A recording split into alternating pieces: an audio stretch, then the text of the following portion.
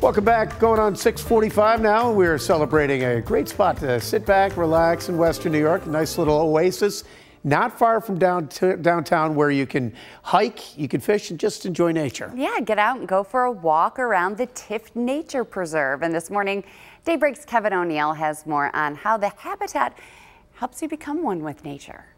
Well, you can see a couple of downtown buildings from the Nature Preserve. It feels more like a world away, and that's the point. Nature is the focus here. The program and experience manager is Kimberly Adrianson. Tifft Nature Preserve is operated by the Boston Museum of Science.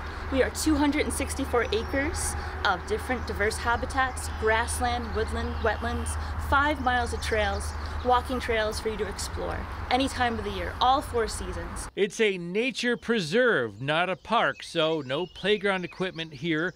Don't bring your bike, your ATV, your canoe, or your drone. Leave your dog home too. Nature is the star attraction. Fishing is allowed in Lake Kirsty, and it's so close by the city. It's a nice little break in the middle of the day. Christian agrees. It's like a little, a little oasis, isn't it? It is. It is. You, you, know, you might you have the highway right there, but once you get deep enough in, you, you don't hear the traffic. You're in your own little world. He's right. You can hear nearby Route 5 in front of the property, but just take a few steps into one of the five miles of hiking trails. Nothing, except like birds and frogs and stuff.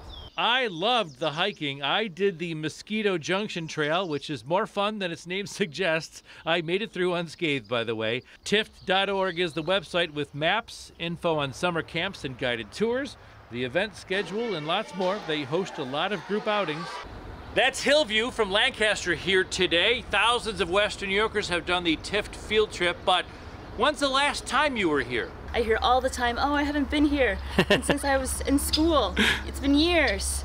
There's no reason why you can't come here every single year. Tifft Nature Preserve is for children and adults of any age to explore and enjoy nature. Celebrating Western New York, I'm Kevin O'Neill, Channel 2 News.